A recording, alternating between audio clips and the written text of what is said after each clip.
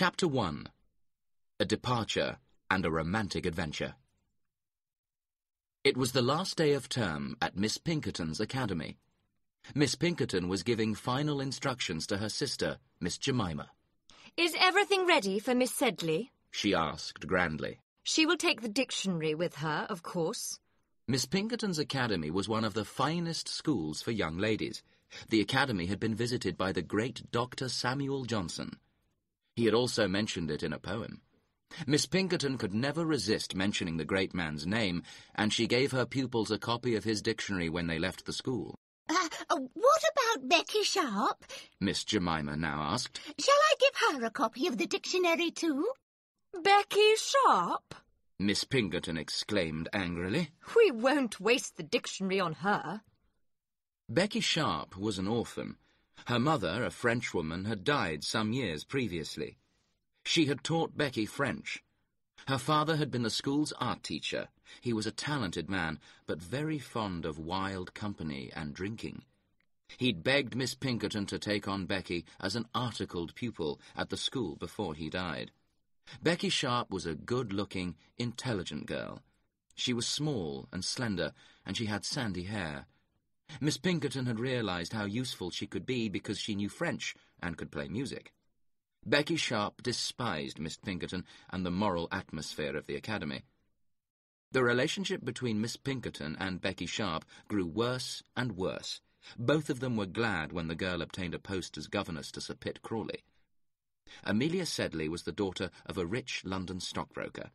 She was a pretty girl, and she had healthy red cheeks and a warm smile. Everyone loved her because she was patient and kind. Amelia had asked Becky to stay at her family's house for a week when they left school. Soon the two girls had said goodbye to the headmistress, and they went out to the carriage. Just as the carriage began to move, Miss Jemima ran up to the window. Stop! She cried out excitedly. She pushed two parcels through the window. Some sandwiches, my dears. She told the two girls. And a book for you, Becky. She went on. Johnson's dictionary, you know. You can't leave without that. The good woman went back into the garden.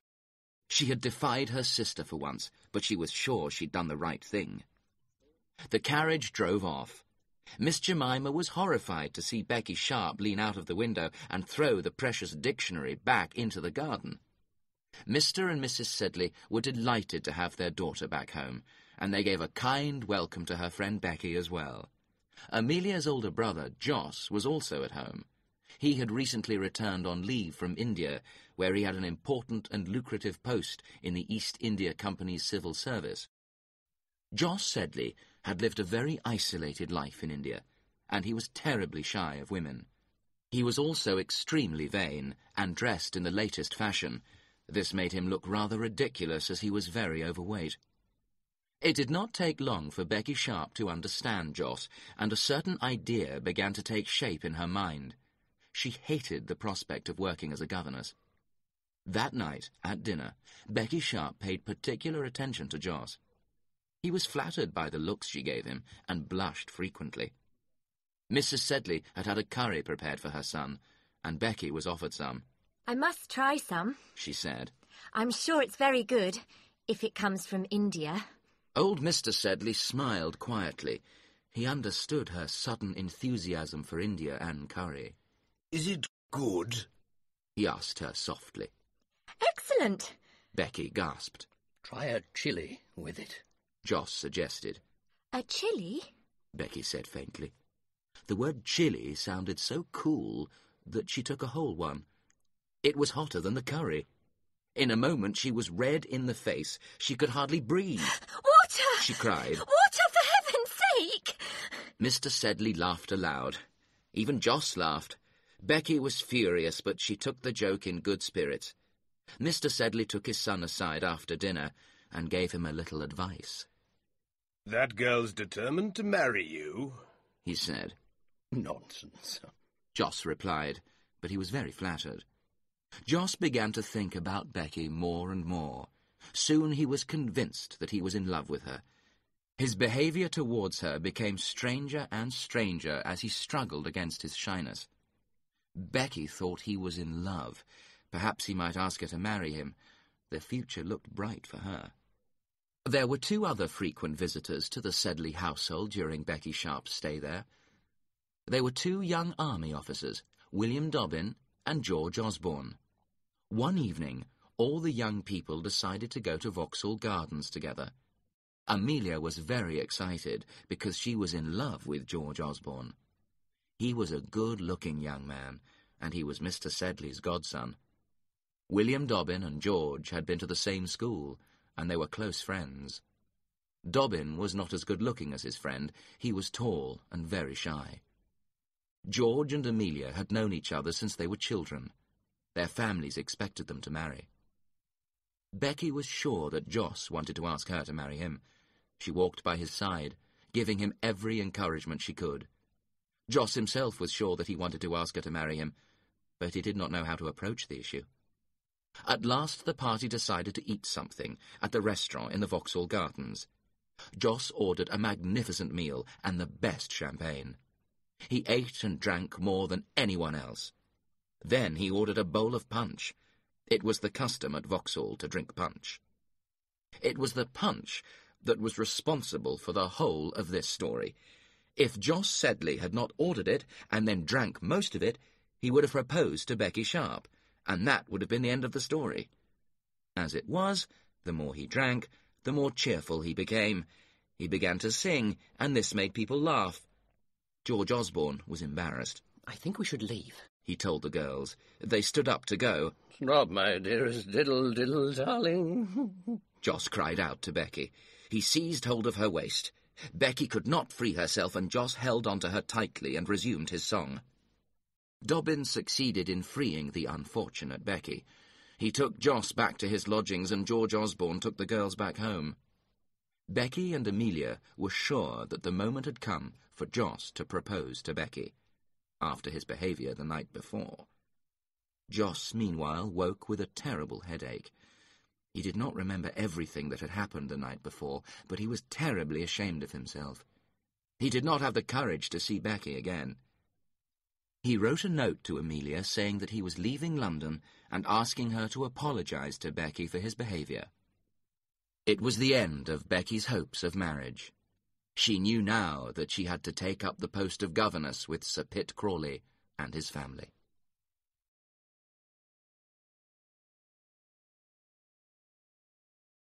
Chapter 2 The Crawley Family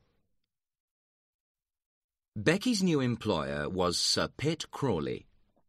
Sir Pitt Crawley had been married twice, and he had two grown-up sons from his first marriage, Pitt and Rawdon Crawley. After the death of his first wife, Sir Pitt had married again, this time choosing an ironmonger's daughter. They had two daughters. Sir Pitt had advertised for a governess to help in the education of these two children. Becky Sharp was young enough to have a romantic idea of what a baronet's establishment might be like. She was very shocked, therefore, to discover that Sir Pitt Crawley seemed hardly a gentleman at all. He was an elderly man who dressed badly and drank too much. He was also mean about money and preferred to spend his time eating and drinking with the butler rather than entertaining ladies and gentlemen. Sir Pitt Crawley's country residence, Queen's Crawley, was a large house, but it was in poor condition. Becky soon realized that the most important person in the house after Sir Pitt Crawley himself was the baronet's older son, Pitt. Unlike his father, he was rather a severe man with very strong religious opinions. It was clear that the father and son did not get along well. It was also clear that Sir Pitt's wife, the ironmonger's daughter, wielded no power in the house at all. Lady Crawley had been a lovely young girl before she married Sir Pitt Crawley. She'd given up a decent young man who loved her for the happiness of becoming Lady Crawley. Vanity Fair, indeed. Her beauty faded, and Sir Pitt became bored with her. The poor woman was despised by all. The only person who showed the slightest respect for her was the baronet's older son, Pitt. He behaved with a cold, formal correctness to her at all times. Sir Pitt Crawley's brother, Bute, was the local parson. He and his family lived in the village rectory. The relationship between the two brothers was not particularly good. They had quarrelled about money in the past, and they continued to plot against each other. Their plots centred around Sir Pitt's unmarried half-sister, Miss Crawley. Miss Crawley was a very rich, selfish old woman. She did not like Pitt Crawley because of his piety. She wanted to leave half of her money to Bute Crawley and the other half to Sir Pitt's second son, Rawdon. Becky rapidly decided on the most useful strategy to follow at Queen's Crawley. She wanted to keep everyone happy with least effort to herself. She won over the two daughters by letting them educate themselves rather than giving them difficult lessons to follow. Sir Pitt Crawley was involved in a large number of lawsuits with different people, and Becky soon learned all the details of these. She ordered his papers for him and helped prepare his accounts. She also helped him with the management of the estate and was very useful in every way. With his older son, Pitt, Becky took a different approach. She listened to his religious opinions very seriously and encouraged his political ambitions as well. The wealthy Miss Crawley soon arrived at Queen's Crawley, where everyone made a great fuss of her. Becky wrote to Amelia, describing how Sir Pitt provided the finest food and wines for her, and how the family at the rectory also did their best to entertain the selfish old lady. Sir Pitt's younger son, Rawdon Crawley, also came to stay at Queen's Crawley to be near his aunt. Becky told Amelia that the young army officer was very good-looking and had even asked her to dance with him at a country ball. Miss Crawley knew perfectly well that her relatives were waiting for her to die so that they could inherit her fortune. She was a shallow, pleasure-loving woman, and she only had time for the dashing young army officer, Rawdon Crawley. She regarded Pitt Crawley as a bore and was frightened of his religion and morality. She thought Bute and his wife were dull as well. It was not long before Becky Sharp had become a favourite with the old lady. Becky amused her by imitating the guests who were invited to dine at Queen's Crawley. Miss Crawley insisted that the governess sit beside her and Rawdon at dinner. I don't care about birth and social position, she said to Becky. Look at my brother Pitt, or look at Bute at the parsonage. None of them have got your intelligence, my dear. They're not even the equals of my poor old companion Briggs. No, what I care for is wit and breeding, and you've got both. She even confided in Becky about her hopes for Rawdon. I admired Nelson because he didn't care what people thought. He ran away with a beautiful woman. I hope some great man runs away with you, my dear, she went on. I hope Rawdon runs away with a girl, she added dreamily. A rich one or a poor one? Becky asked. Oh, a rich one, of course, Miss Crawley replied with a smile. Poor Rawdon hasn't got any money except what I give him. Is he terribly clever? Becky asked. Clever? The old lady laughed. Rawdon hasn't got an idea in his head, but I want him to succeed. He's so delightfully wicked. Although Becky told Amelia in her letter that Rawdon had danced with her, she did not tell her friend everything about the young army officer's behaviour towards her. One evening, when Becky was playing the piano, Rawdon stood close to her, bending over the music. He had even written her a note while she was singing after dinner once, and hidden it in her music book. Becky picked up the note and dropped it into the fire. What's that, my dear? Miss Crawley asked sleepily. A false note, Becky replied with a little smile. Rawdon blushed furiously.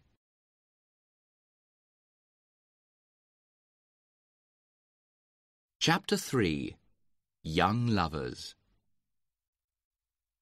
We must now leave the good people enjoying themselves at Queen's Crawley and return to London to find out what is happening to Amelia. The ladies in Amelia's social circle agreed that she was very good-natured but dull. The Misses Osbornes and Dobbins patronized the poor girl terribly, and Amelia was very shy in their company. What does Georgina? They asked each other in wonder. George Osborne himself became used to the idea that he was making an enormous sacrifice in marrying Amelia. He continued to visit the Sedley household, of course, but days went by when he ignored Amelia. She suffered, but she told no one about her suffering. Only George's friend Dobbin realized that the girl was unhappy. Meanwhile, great events were taking place in Europe. Napoleon's army was defeated by the Allies, and the Emperor was forced to abdicate and take up residence on the island of Elba. The financial markets of the world were disturbed. Mr. Sedley suffered heavy losses in his investments on the stock exchange.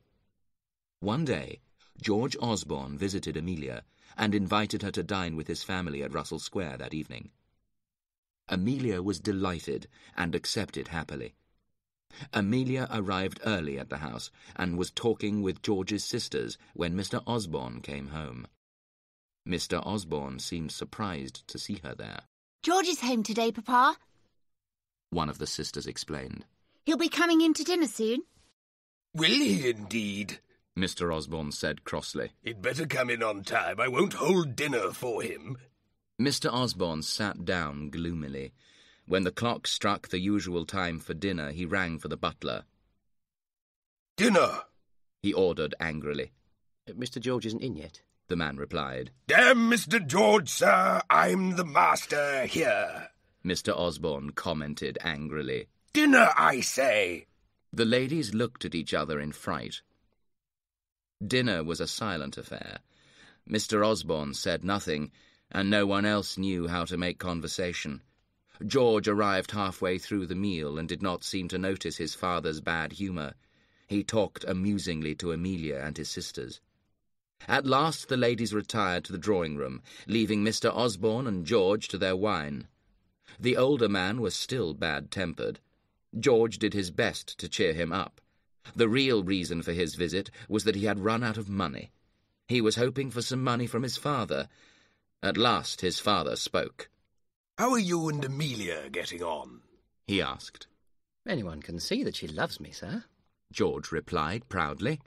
And you? His father asked sharply. What about you, my boy? George laughed easily. Didn't you tell me to marry Amelia, sir? He joked. You and Mr. Sedley arranged it all years ago. Hmm, commented his father. Haven't I heard about you and your wild amusements with Captain Crawley and that set? You should be careful, sir. Mr. Osborne was secretly delighted that his son was mixing in such aristocratic company. He was very ambitious for George. Well, well, he went on. I suppose young men will be young men. I'm glad you live in the best society of England. One can't live in that kind of society for nothing, you know. George said quietly. Don't worry about money, my boy.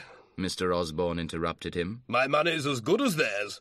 Call on Mr. Chopper in the city tomorrow. He'll have something for you. Thank you, sir. You could marry higher than Amelia, you know. Mr. Osborne told him. I don't like the look of Sedley's affairs. There are rumours about his losses. If I don't see Amelia's ten thousand pounds, you won't marry her. I won't have any lame ducks in my family. George was very attentive to Amelia when he went to join the ladies after his talk with his father. She remembered long afterwards the pleasure of that evening with him. George hurried off to the city the next morning and obtained a document from Mr. Chopper. Then he hurried to the bank. He noticed that Mr. Sedley was also in the bank, but he was too excited to notice the grim look on the older man's face. Meanwhile, Miss Crawley had returned to London from her visit to Queen's Crawley, bringing Becky Sharp with her. The old lady had eaten and drunk far too much and was feeling unwell. She retired immediately to bed and summoned her doctor. Captain Crawley was one of the first people to arrive at her house to ask after her. He received gloomy reports from the maid and from Miss Briggs, her companion. Captain Crawley was unable to see the patient, but he did manage to have a few minutes of private conversation with Becky. He left the house looking very cheerful. Miss Briggs tried to gain admission to the sick lady's bedroom, but was refused. The poor lady had been a loyal and faithful companion for many years, and was wounded by Miss Crawley's behaviour. Mm, but why won't she see me? she asked Becky. I always look after her when she's ill.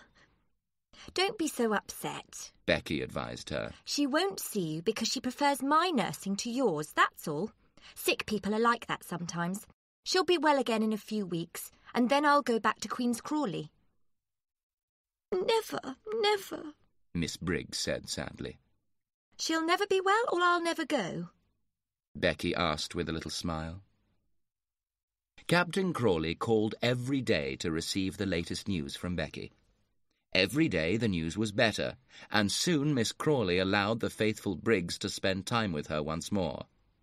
Becky used to mimic the good woman to her face for the amusement of the old lady.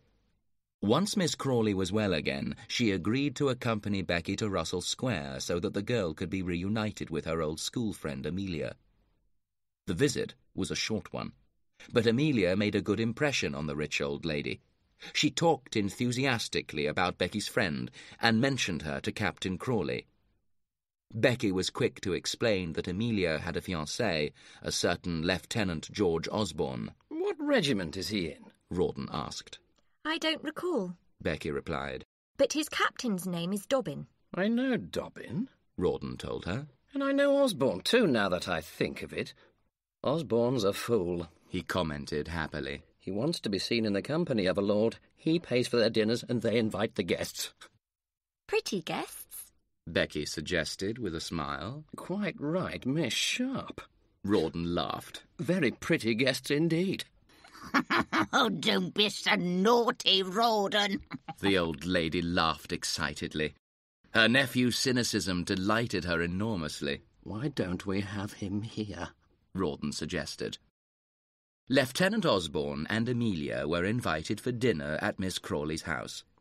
The meeting between Becky and George Osborne was not an easy one.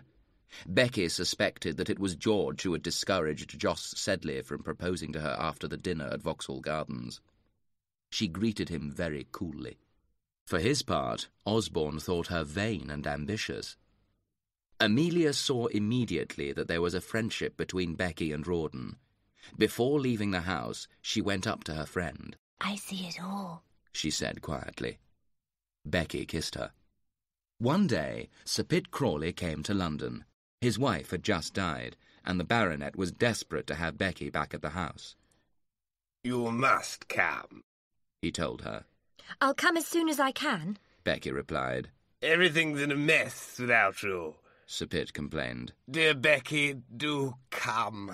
Becky looked at him closely. Come as what? she asked quietly.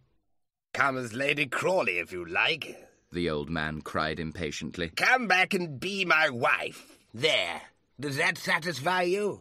Oh, Sir Pitt! Becky cried. Say yes. Sir Pitt begged her.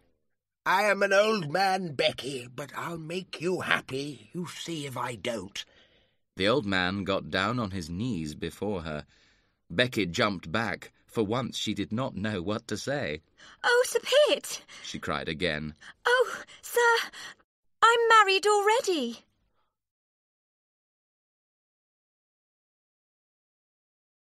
Chapter 4 A Family Bankruptcy Miss Briggs happened to be passing the room where the interview between Becky and Sir Pitt was taking place. She heard both his offer of marriage and Becky's refusal of it. She did not stay long enough, however, to hear the reason for the refusal, that Becky was already married. Miss Briggs carried the exciting news to Miss Crawley. Miss Crawley was impressed that Becky had refused the baronet and secretly relieved. She talked the matter over with Briggs, and the two women agreed that Becky must be in love with someone else. Find out who it is, Miss Crawley ordered her companion. Becky admitted to Miss Briggs that she was in love with someone else, but she refused to tell Briggs who the man was. She did not tell Miss Crawley either when the old lady interrogated her. You will know soon enough, my dear, she said. That evening, when she was alone in her bedroom, she wrote a letter. Dear friend, half of our secret is known, and I'm sure that the time has come to tell everything. It's risky, I know, but I'm sure we'll win in the end. Miss Crawley is very sympathetic and generous. I think everything will be all right. She addressed the letter to Miss Elizabeth Stiles. The reader will not perhaps be surprised that Miss Elizabeth Stiles, who wore a military uniform, was none other than Captain Rawdon Crawley. The next morning, Becky's bedroom was empty. She had left a note for Briggs explaining the mystery of her marriage and asking her to break the news to Miss Crawley. It was bad luck for Becky that Mrs. Bute Crawley arrived at the house that morning. Briggs told her the whole story, and they went to Miss Crawley together. The old lady was horrified at the news and had another attack of illness. I'll never forgive them, she said.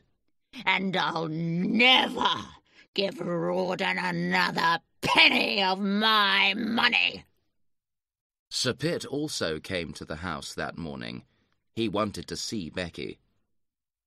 She's got to come back to Queen's Crawley with me, he told Briggs. I can't manage without her. But, but don't you know she's married? Briggs replied in astonishment. What do I care about that? The baronet said angrily. I know she's married. She left the house this morning, sir. Briggs explained. Miss Crawley is very upset by the news of her marriage to Captain Rawdon. When Sir Pitt heard that Becky was married to his own son, he broke into a furious rage. Then he left the house very noisily. But what if she doesn't forgive me? Rawdon asked his wife that night, as they sat together in their modest little apartment. Don't worry about that, Becky said sweetly. I'll make your fortune for you. You can do anything, he replied tenderly. There is one event in Vanity Fair that attracts both sentiment and satire, and that is the auction of a bankrupt person's household goods. People who attend these auctions remember how things were different in the past, how the person who is penniless now used to offer his guests the finest wines and food. An auction was taking place at the Sedley household. Old Sedley was now a ruined man. Captain Dobbin was at the auction. He was very interested in a little piano that had belonged to Amelia. His agent began to bid for the instrument, as did Becky's agent on her behalf. The bidding was fast, and the price rose high. At last Becky's agent ceased to bid, and the piano became the property of Captain Dobbin. The piano arrived that evening at a modest little house off the Fulham Road, where the Sedleys were now living. He was a kind man, Mr. Sedley, Becky commented dreamily to Rawdon. She was remembering her stay at the house. I'm sorry it's all gone wrong for him. Oh, these stockbrokers, Rawdon said carelessly. They're used to this sort of thing, you know. I'm sorry for your little friend Amelia, though. I suppose young Osborne will think twice before he marries her now. Rawdon's guess was not far wrong. Amelia had received a letter from George Osborne's father immediately the news of the bankruptcy became public knowledge. Mr. Osborne told her that her father had behaved very badly, and that it was no longer possible for the two families to know each other. She showed the letter to her father, who was very angry.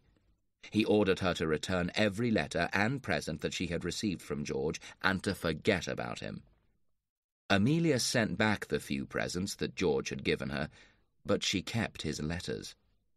They were her most precious possessions. There was more exciting news from Europe. Napoleon had escaped from Elba and returned to France. Everyone knew that war was coming. One day, Dobbin found his friend, George Osborne, in his room at the barracks. He looked very upset. She sent me back all the presents I gave her. George told his friend. It's all over. Look. Read this. He passed Dobbin a letter from Amelia. Dobbin had visited Mr. Sedley and the family in their new house off the Fulham Road. He knew that Amelia was very ill. She's dying, George, he said quietly. A few hours later, George Osborne paid a visit to the Sedley household. Mrs. Bute Crawley established herself at Miss Crawley's house in London to nurse the old lady.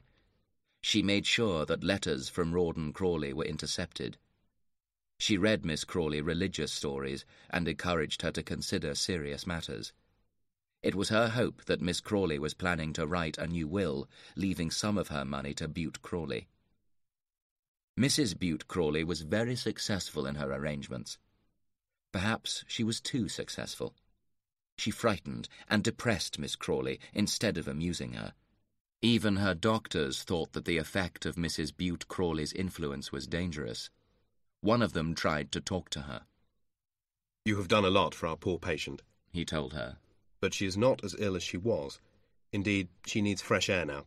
If you keep her in the house, she may really die. At last, an expedition to the park was organised. Miss Crawley's carriage was soon spotted by Becky and Rawdon, who were also out driving. Rawdon drove past his aunt and saluted her gravely. His aunt ignored him. That's it, then, he commented to Becky. She won't acknowledge me.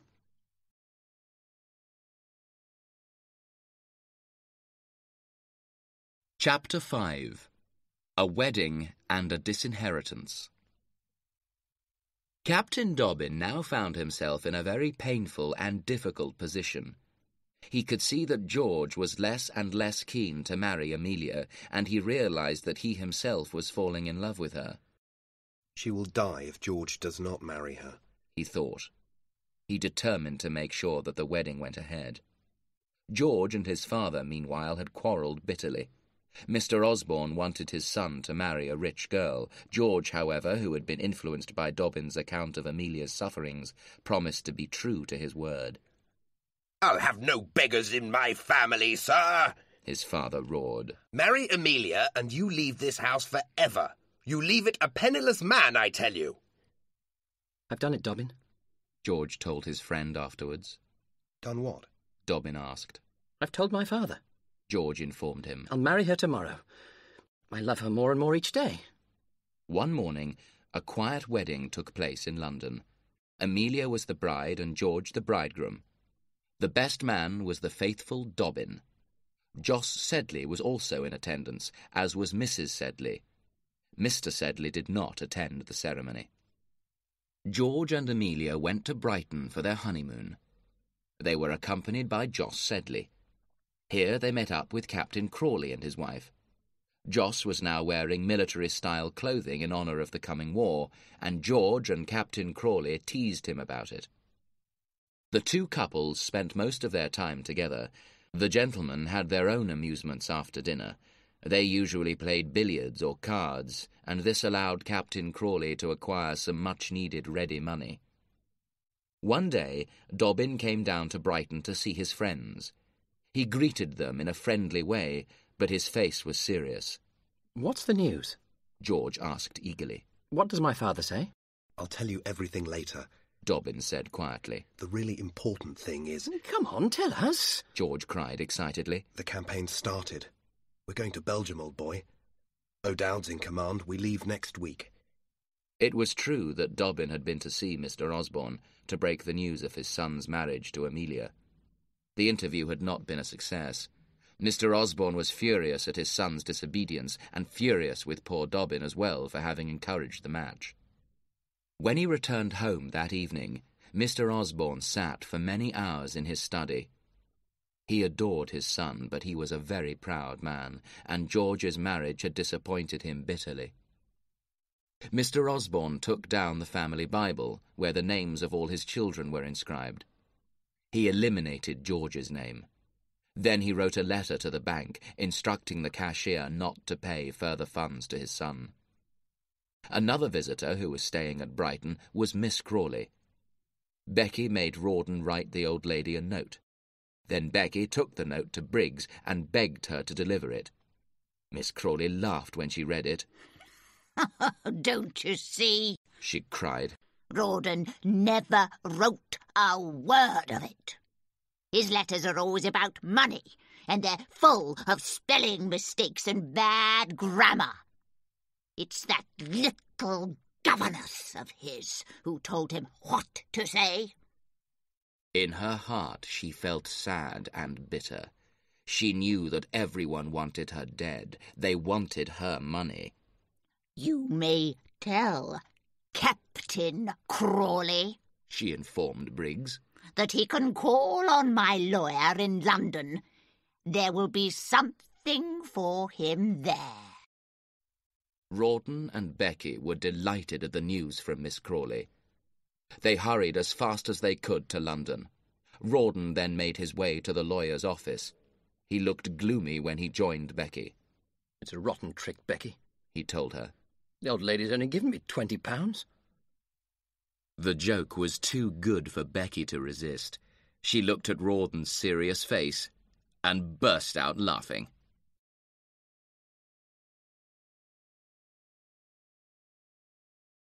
Chapter 6 Preparations for War The Osbornes and Dobbin now made their way to Chatham, from where the regiment was to embark for Europe. Amelia was presented to Peggy O'Dowd, the commanding officer's wife. Peggy O'Dowd was a friendly Irishwoman, and she made Amelia very welcome. We're all good friends here, she explained cheerfully. There isn't a happier regiment in the whole army. Jos had agreed to accompany Amelia to Europe, and everyone noticed that his appearance became more and more military every day. At last they arrived in Brussels, where the regiment was quartered. Everyone was delighted with the city, and all the Vanity Fair booths were laid out before them, with their usual attractions. There was gambling for those who liked it, there was a theatre, and above all there was a huge throng of lords, ladies, and gentlemen. George was enthusiastic about the social life of Brussels. One evening he danced with one of Lady Bareacres' daughters. He even invited the Bareacres to a grand dinner. They accepted the invitation, but they refused to speak to poor Amelia, whom they considered their social inferior. She passed a very miserable evening in their company. One day, Captain Crawley and Becky arrived in the city. They were travelling with General Tufto, and they mixed in the very highest military circles. George was quite proud to know the Crawleys and to be seen around the city with them. Becky was in the very best of humours. She teased poor Jos about their old romance, and she flirted with George. Amelia was uncomfortable in her presence. She felt that Becky's influence on her husband was not a good one. Dobbin was more forthright still. What a humbug that woman is, he commented to George. A grand ball was planned, and everyone was desperate to have a ticket to the social event of the year. Jos and Mrs. O'Dowd were unlucky, but the Bareacres obtained tickets for Captain Osborne and his wife. Dobbin was given a ticket by a general he knew. George bought new clothes for Amelia and drove her to the ball. She did not know anyone there, and sat by herself while her husband went off to look for his friends. Amelia was unhappy, and the only person who came to talk to her was honest Dobbin. Becky, meanwhile, had made a splendid entrance. She immediately joined the most select group of people at the ball, and was soon the centre of attention with the men there. She spoke French perfectly, and everyone wanted to dance with her. Then she spotted Amelia, and came over to join her on the bench. She criticized her clothes, commented happily on the ball, and then gave her friend a lot of advice that humiliated poor Amelia even more. When George saw that Becky had joined his wife, he too hurried over to the bench. He asked Becky to dance, and she agreed. They danced together two or three times. Amelia was very unhappy. Tears came into her eyes. Then George ran back to collect Becky's shawl and flowers. Becky was leaving the ball. George carried her bouquet to her, but when he gave it to her, she saw that there was a note lying among the flowers. Becky had received many such notes in her life. She smiled at George and turned towards her husband. Amelia was watching the scene between George and Becky. She turned very pale. William, she said quietly. I don't feel very well. Please take me home. Dobbin escorted her away from the ball. George, meanwhile, was in a very elated mood. He did not notice that his wife had left the ball. He gambled at the tables, winning repeatedly. Then he began drinking heavily. Dobbin found him in a very excitable mood when he returned from Amelia's hotel. Come out, George, Dobbin said quietly. Nonsense, George cried. Come and drink with me, my old friend. Dobbin came close to him. The enemy is advancing, he whispered. We're leaving in three hours. There was little sleep for anyone that night. Everyone was busy preparing for the sudden departure for the battlefield. George made his way quickly to the hotel, where Amelia was already in bed. He thought about the short weeks of his marriage and blushed with shame when he thought about the note he had given to Becky Sharp. What will happen to Amelia if I die? He asked himself. He wrote a letter to his father, asking him to look after his wife if he was killed and thanking him for his past kindness. He was very kind to her the next morning before he went away. Amelia was very upset to see him go. The O'Dowds were also making their preparations for the departure. Call me at half past one, my dear, the Major said quietly to his wife. And have my things ready for me. This was his way of indicating that the regiment was marching the next morning. Rawdon spent the last hours with Becky reckoning up what he could leave behind for Becky if anything happened to him. Look, he said. I've been lucky recently at cards. Here's £250 in cash, then there are my horses. Captain Crawley, who cheated his friends at cards and who never paid his debts, had tears in his eyes when he lifted Becky up to kiss her goodbye. Becky had wisely decided not to give in to her emotions. Captain Dobbin called on Jos very early in the morning. Jos was not pleased to be woken up, and he greeted Dobbin without enthusiasm. What can I do for you? He inquired coldly. George and I are marching in an hour, Dobbin explained. I want you to look after your sister. If something happens to the army, take her back to England. You're the only person she's got. Soon after, they all marched out of the city.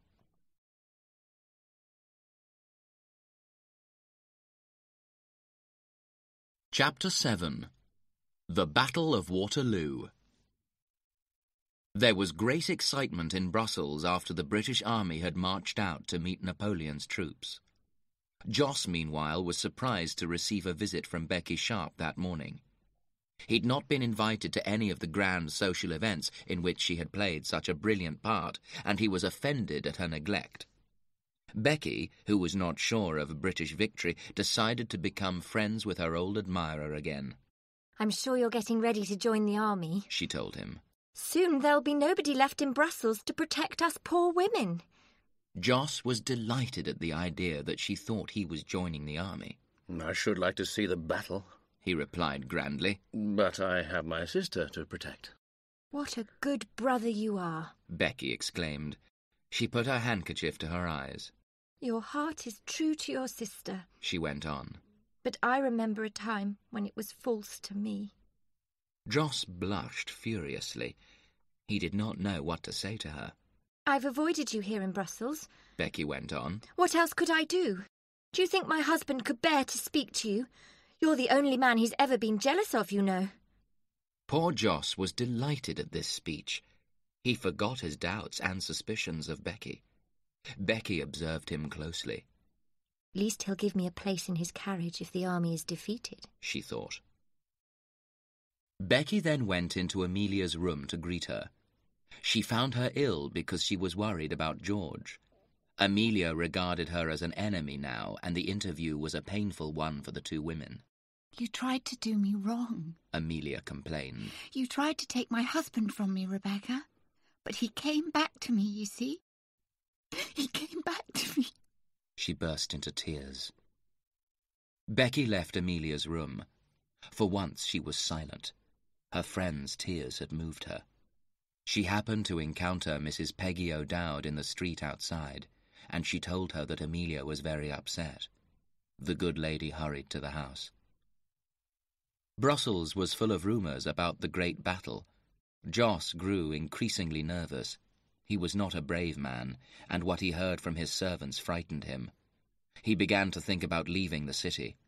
He told Amelia that he thought it was best to prepare to leave, but she refused to listen to him. That night, Jos's fears increased to panic.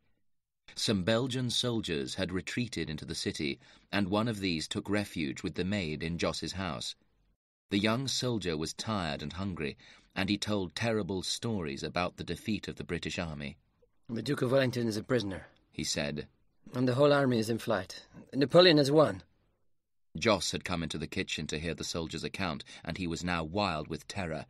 He changed out of his military style clothes as quickly as he could and ordered his servant to prepare the carriage. There are no horses left in Brussels, sir, the servant told him. Jos dashed into the street. He ran to all the hotels in a desperate search for horses.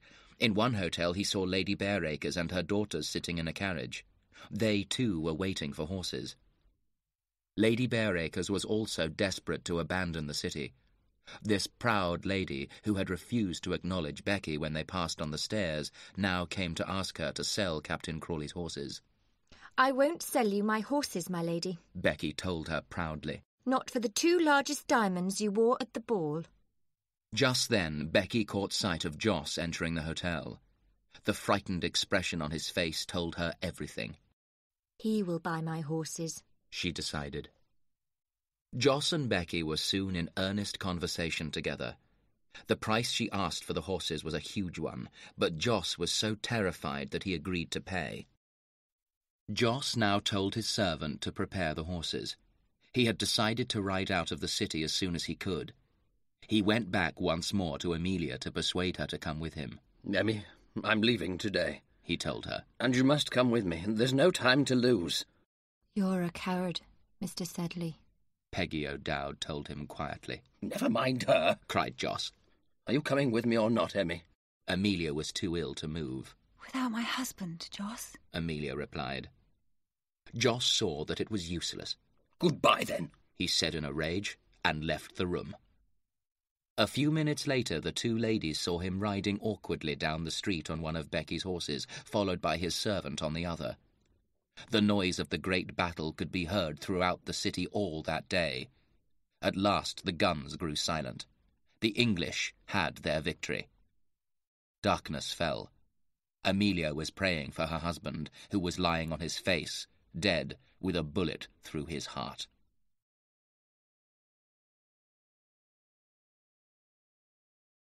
Chapter 8 Miss Crawley Old Miss Crawley was now living in Brighton, and she read the news of the Battle of Waterloo with great interest. Rawdon had been promoted. He was now a colonel. What a pity that fine young man behaved as he did, said the kind-hearted Briggs. She wanted Miss Crawley to forgive Rawdon and Becky. Rawdon's a fool, the old lady replied angrily. He could have married well if he'd had my money behind him. Oh, but he won't get any of it now.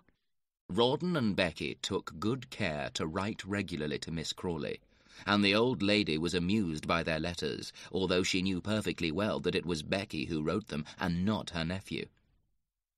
Miss Crawley's attitude to the family at the rectory was not so warm. She'd been frightened by Mrs. Bute Crawley during her illness in London.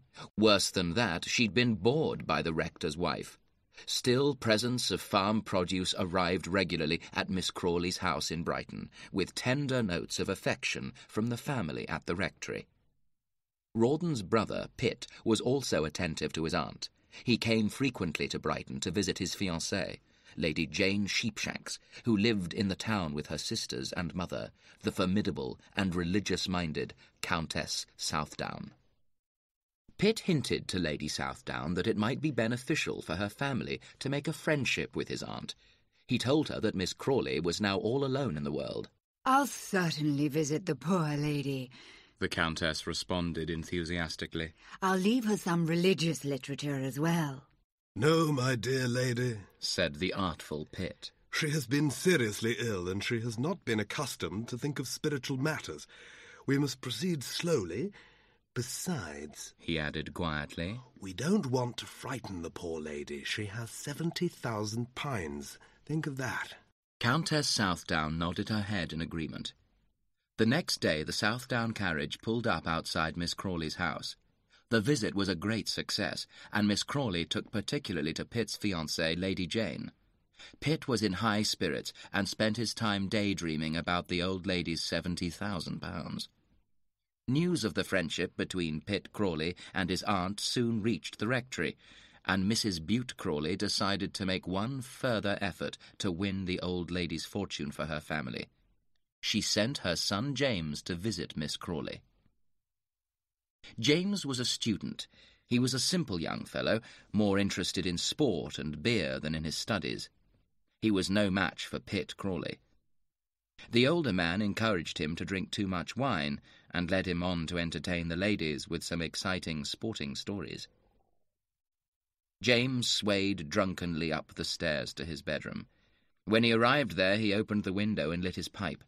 He stared happily out at the sea, smoking contentedly. He had forgotten, however, to close the bedroom door behind him, and the smell of pipe tobacco spread through the house. The following morning, he received a note from Briggs. Dear Sir, Miss Crawley has spent a sleepless night because of the smell of pipe tobacco throughout the house. She is too unwell to see you before you leave the house. And so ended the rectory family's hopes of receiving Miss Crawley's fortune. Rawdon and Becky, meanwhile, were enjoying themselves in Paris, where they had enough money to live in luxury thanks to the huge price Jos had paid for the horses. Becky gave birth to a son during their stay in Paris. Miss Crawley was furious at the news and immediately ordered Pitt and Lady Jane to marry. She promised to leave them the bulk of her fortune after her death.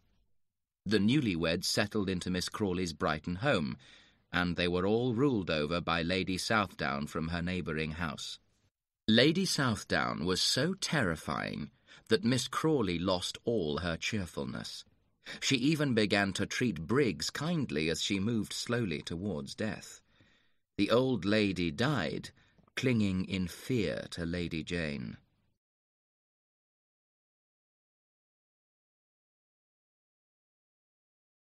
Chapter 9 Life on Nothing a Year News was continually arriving in England of the terrible casualties of the Battle of Waterloo.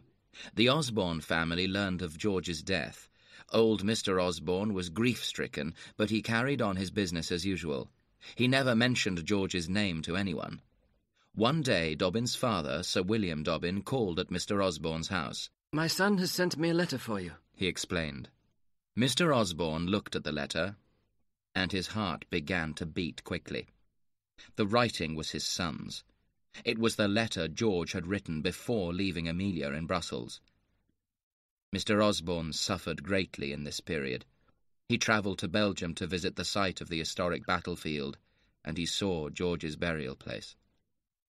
One evening, as he was coming back into Brussels, Mr. Osborne saw a carriage driving towards him. An officer was riding by the side of it. Mr. Osborne was surprised to see that one of the occupants of the carriage was his son's widow, Amelia, and that the officer on horseback was his son's friend, Dobbin. Amelia was pale and withdrawn, and did not notice her father-in-law. He, however, gazed at her in fury and hatred. A few minutes later, Dobbin rode up to Mr. Osborne's carriage. He held out his hand, but Mr. Osborne refused to take it. I have a message for you. I am the executor of George's will, and am therefore responsible for his widow's welfare. Are you aware how little money he left her? Dobbin explained that Amelia was expecting a child. He tried to persuade Mr. Osborne that the time for hatred and bitterness was gone, and that Amelia needed his support. I have promised to have nothing to do with that woman, sir, Mr. Osborne commented angrily. I shall not change my mind. Months now passed, and Amelia gave birth to a son. The loyal Major Dobbin was constantly in attendance upon her, and brought her back to her parents' house in England. He became the baby's godfather. The poor girl was so depressed by the death of George that she did not seem to notice the Major's kindness to her. Dobbin, however, never dared to mention his love to her. He knew that Amelia was loyal to her husband's memory. One day, the Major came to Amelia's house, looking particularly serious. I'm going away, he told her.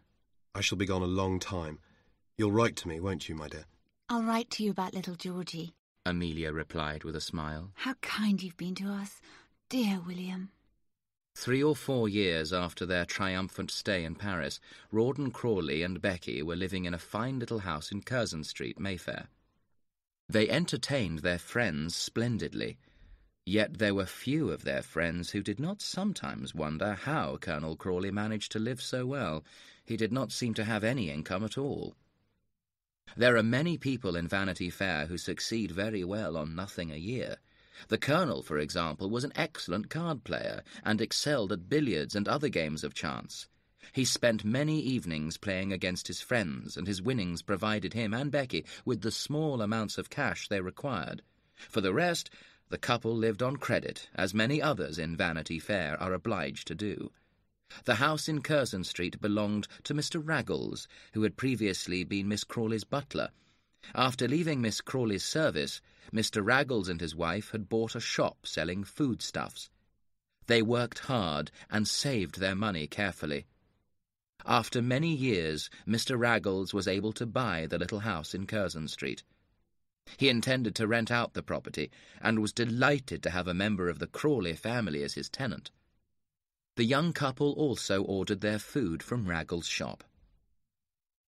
One of Becky's first plans when they settled in London was to establish good relations with Rawdon's brother, Pitt.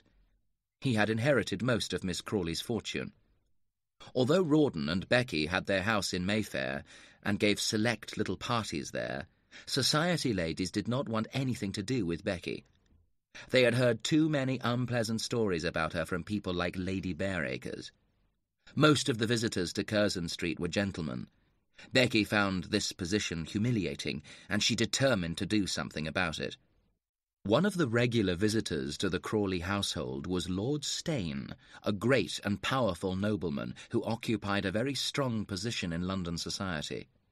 Lord Steyne was one of Becky's greatest admirers. Becky thought that Lord Steyne could introduce her to London society. This was not a happy time for Rawdon himself. He knew that people came to the house to see his brilliant and charming wife, and that they found him a bore. He preferred to spend his time with his little son, Rawdon. He went for long walks with the boy, and he took him to see his old friends at the barracks.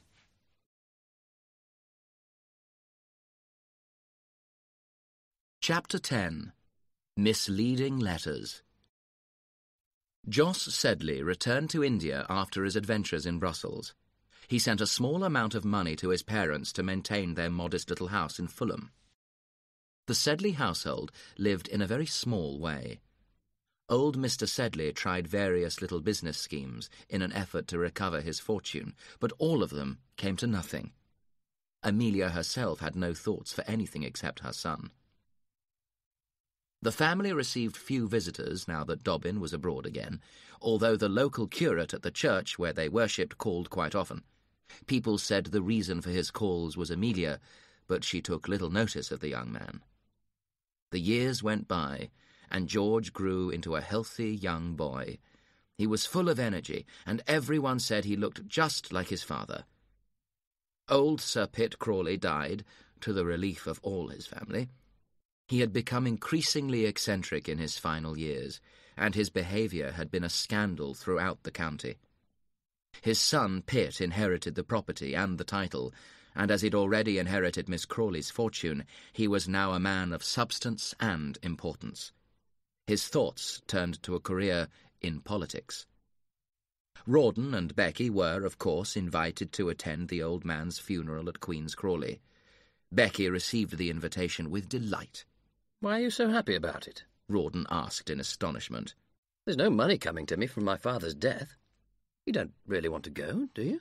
Of course we're going, Becky cried. Lady Jane shall present me at court next year, and Pitt will give you a seat in Parliament. What about little Rawdy? Is he coming with us? Rawdon asked tenderly. He did not like being parted from his son for more than a few days. No, said Becky. He can stay here with Briggs. She'll look after him. The faithful Briggs had come to work for the young couple after Miss Crawley's death. The visit was a great success for Becky. She behaved herself with modesty and tact in front of the new Sir Pitt Crawley, and flattered his political ambitions. She talked sentimentally about her son in front of the kind-hearted Lady Jane, and won that lady's friendship. With Lady Jane's mother, the Countess of Southdown, she talked religion. Amelia, meanwhile, wrote regularly to Major Dobbin, who was with the army in India. She gave him all the news about Georgie. She also visited his sisters sometimes. One day the sisters told her some important news. William's, William's getting, getting married. She wrote to congratulate him and to wish him happiness for the future.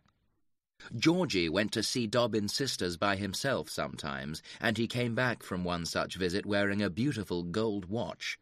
He said that a lady had given it to him. Amelia guessed that the lady was a member of the Osborne family. In fact, it was George Osborne's sister, who had also been visiting the Dobbin sisters. When Miss Osborne arrived home that afternoon, she told old Mr. Osborne that she had seen Georgie. He looks just like his father, she said tearfully.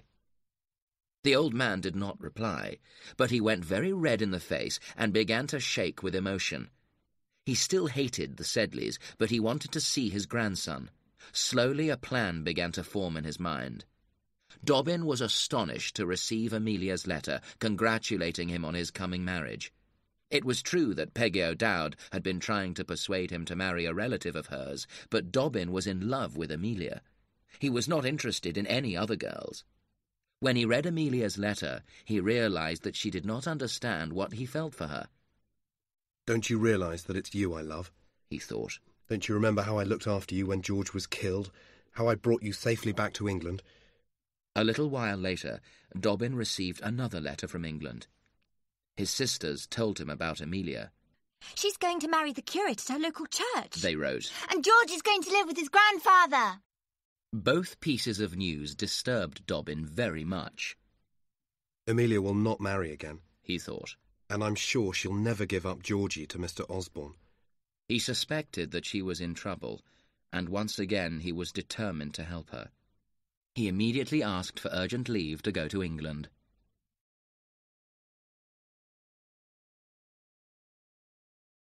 Chapter 11 Amelia Makes a Sacrifice Becky was now back in London preparing Sir Pitt Crawley's house for his return there. Sir Pitt knew that Rawdon and Becky were very poor. He was very fond of money, however, and did not offer his brother any.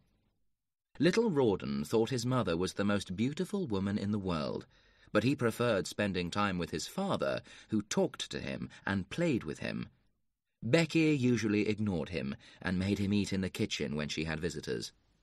One evening, the boy was in bed when he heard his mother singing. Becky had a fine voice, and the little boy crept downstairs to listen.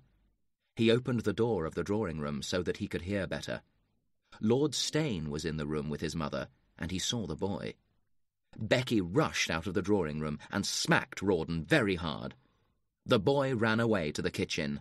I'm not crying because she hit me, he told the servants.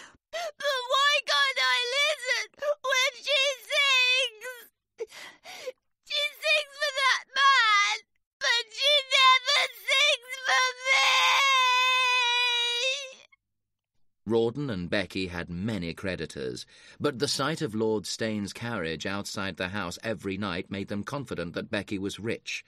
They knew that Lord Steyne was one of the richest men in England. As for Colonel Crawley, he felt out of place with the fashionable people who came to visit his wife. He spent most of his time playing with little Rawdon, or dining at one of his clubs with his old army friends. He saw very little of Becky in this period. Trouble came to the Sedley household. The family had just enough money to live off from Jos, but old Mr. Sedley began to invest the money that Jos sent from India, all his investments failed, however, and he lost the money. Mrs. Sedley was afraid of the tradesmen who wanted to be paid. Amelia did not know anything about the financial difficulties of the household. Just when Mrs. Sedley was desperate about money, a letter came for Amelia from old Mr. Osborne. He said that he wanted Georgie to come and live with him. He wanted to give the boy a splendid education and Mr. Osborne promised to leave him all his money when he died. He also offered to pay Amelia a small allowance. Amelia was offended by Mr. Osborne's offer, and she refused it. The great day came for Becky when she was presented at court to George the Fourth. She attended the event with Sir Pitt and his wife, Lady Jane. Everyone noticed that she was wearing some splendid diamonds for the occasion. Where did they come from, Becky? Rawdon asked her in wonder. Where do you think, you silly man? She said with a laugh. I hired them, of course. You don't suppose that all the diamonds that ladies wear to court belong to them, do you? Becky never returned the diamonds to a shop, however, after her appearance at court. She hid them away in her desk. The only other person who knew the truth about them was Lord Steyne. Lord Steyne called on Becky later that day. Send that Briggs woman away, he complained. I can't come here without running into her. I can't, said Becky sadly. I owe her money, you see. She gave me all her money to invest for her, and I've spent it. Lord Steyne swore angrily. How much is it? he asked angrily. That evening, Becky received a cheque from Lord Steyne. She did not pay off her debt to Briggs, however. She paid some of her other bills, and the rest of the money she hid away in the desk with the diamonds. At last Amelia discovered the truth about her father's investments. The Sedleys were now completely ruined. The only way to save the family was to accept old Mr. Osborne's offer to look after Georgie. The boy himself was quite excited at the idea of going to live with his rich relatives. He did not realize how much his mother suffered at the change. It nearly broke her heart to see the boy go off to his new home, but there was nothing else she could do.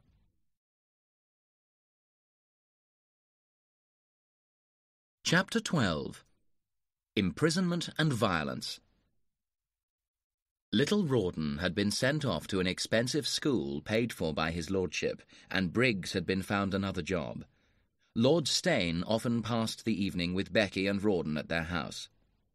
One night, Becky and Rawdon went to a party at Lord Steyne's house. Rawdon stayed behind after his wife left to smoke a cigar with Lord Steyne's assistant, Wenham. The two men strolled through the streets together. Suddenly, they were joined by three other men, one of whom touched Rawdon on the shoulder. He knew immediately what it was.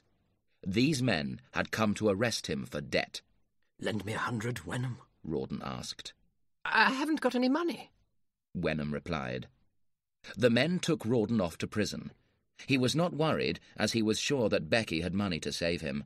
He wrote her a note explaining what had happened. Then he lay down to sleep. He waited all the next day for some message from Becky. At last, a letter arrived in the evening. Becky said she was ill in bed, but that Lord Steyne had some money to send him. Rawdon blushed as he read his wife's letter.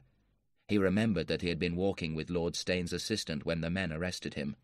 Had there been a plot to get him out of the way? He wrote to Sir Pitt Crawley now, and in an hour Lady Jane arrived with the money that he needed.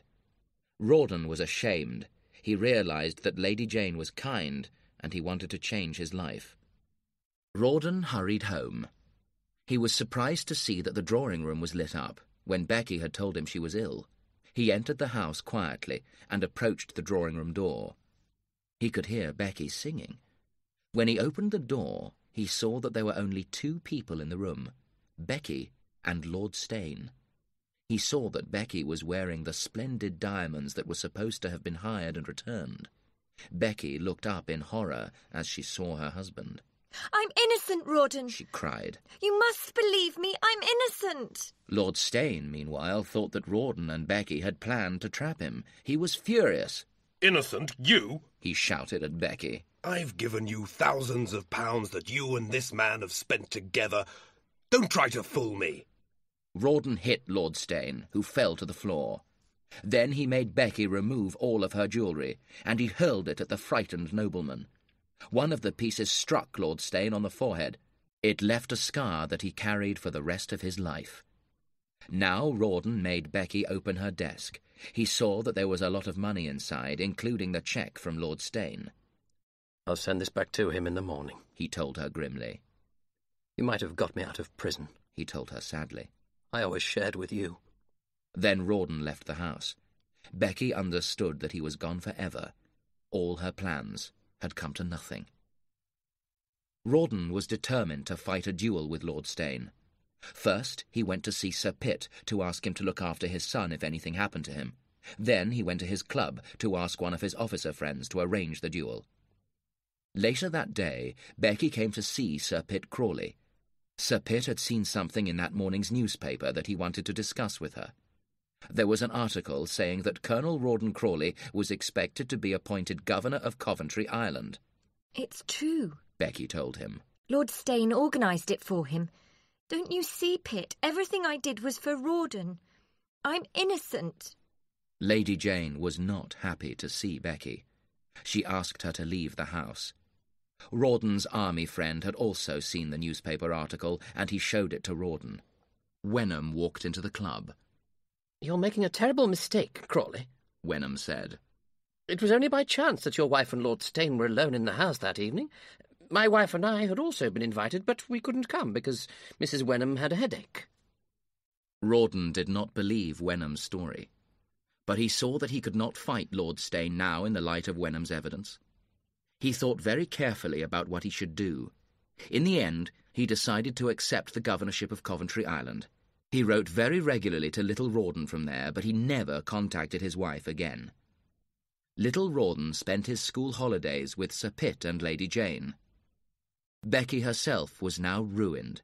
Her servants and creditors all demanded to be paid, and Mr. Raggles took his house back. He was ruined as well. Thus Vanity Fair makes other people pay for its pleasures. Becky fled the country.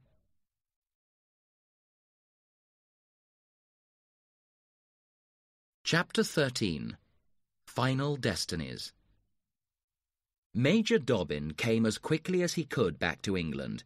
He met Jos on the journey, and they travelled together. Jos told Dobbin that Amelia had not mentioned any plan to marry, and this news cheered the Major up considerably. Dobbin hurried to Amelia's house as soon as he arrived in England. There he learned that Mrs. Sedley had died, and that Georgie was now living with Mr. Osborne. Georgie was happy in the old man's house. He did not think often about his mother. He did not understand her pain. Mr. Sedley died soon after Dobbin's arrival in the country, and Dobbin was now George's guardian. He had to pay a visit to Mr. Osborne to discuss the boy's future. Old Mr. Osborne had looked through his son's papers, and he now realized that Dobbin had been sending Amelia money for years. He asked Dobbin to explain what had happened. Well, sir, Dobbin told him. the marriage was very much my doing. I thought George had gone too far to let Amelia down, and so, when she was left without money, I did what I could to help her. Mr. Osborne turned very red in the face. You did me a great injury, he said. but you're an honest man, sir. Let me shake your hand. Dobbin did everything he could to make peace between the Sedley and the Osborne families. It's true that Amelia took your son away from you, He said once to Mr. Osborne. but you have also taken her son away from her. Finally, Mr. Osborne's hatred for the Sedleys began to fade away. He made a new will, leaving some money to Amelia as well as Georgie. He never met Amelia again, however, because he died suddenly after a heart attack. Dobbin, meanwhile, had told Amelia that he loved her, but all she offered him was her friendship and gratitude.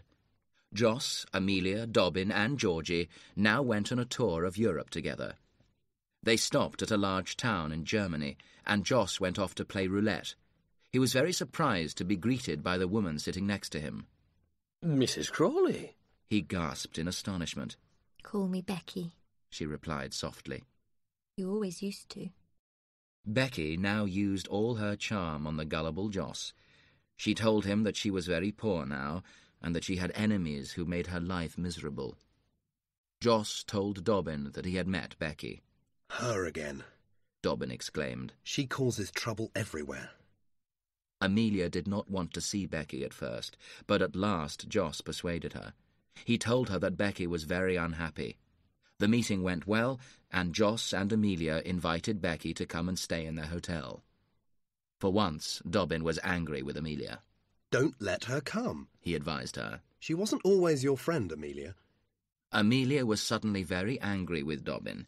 She remembered how unhappy she had been when her husband had abandoned her at the ball to dance with Becky. That was very cruel of you. She cried. The next day, Dobbin apologized for his remark. He said that he had heard bad things about Becky. Amelia did not forgive him. I've loved you for many years. He told her bitterly. Now I see that you are not worth the devotion I've spent on you. You can cherish memories, but you cannot love as I do. It's not your fault, but I've decided. I'm going away. I shan't ever come back. Becky overheard the argument between Amelia and Dobbin. She's a fool. She thought. That man loves her. Dobbin left the town and returned to England. The days went by, and Jos and Becky spent more time together. Amelia and Georgie missed Dobbin terribly. Amelia wrote to him, but she did not tell anyone that she had done so. You must go away from here. Becky told Amelia. You must go away and marry again. You must accept your faithful friend. I shall never marry again. Amelia told her. I have tried, but I can't forget George. He was the only man in my life. Becky gave her friend an old letter. Amelia was astonished to recognize George's handwriting. It was the letter he had put among Becky's flowers the night of the dance in Brussels. He had asked Becky to run away with him. At first, Amelia cried when she thought about her faithless husband. Then she began to remember Dobbin and his constant love for her. She realized that she was free to love Dobbin now. Soon Amelia and Dobbin were happily married in England. At last Dobbin had married his true love. They went to live near Sir Pitt and Lady Jane. The two families became great friends. Jos remained in Europe with Becky. There were rumours that Jos was ill and that he had taken out a huge insurance policy on his life. Amelia was worried about her brother and asked Dobbin to find out what was happening. Dobbin discovered that Jos and Becky were in Brussels. He managed to see Jos without Becky knowing about his visit. Jos looked unwell, and he seemed frightened. Don't let Becky know you've been here, he begged Dobbin. I'm afraid of her. Come away with me now, Dobbin suggested. But it was no good. Jos could not bring himself to leave Becky. Three months later, Jos was dead. The circumstances were suspicious, and at first the insurance company refused to pay the sum due on his life policy. The company had no evidence that Jos's death was due to unnatural causes, however. In the end, they paid the money. Becky, who now called herself Lady Crawley, settled in England once more. Her husband Rawdon died of yellow fever on Coventry Island six weeks before the death of his older brother, Sir Pitt Crawley. The whole Crawley estate thus came to Becky's son, who became Sir Rawdon Crawley. He always refused to see his mother, but he made her a generous allowance. Amelia and Dobbin saw Becky once again when they were in London with their children. Becky smiled as Dobbin and Amelia grabbed their children and walked quickly away from her.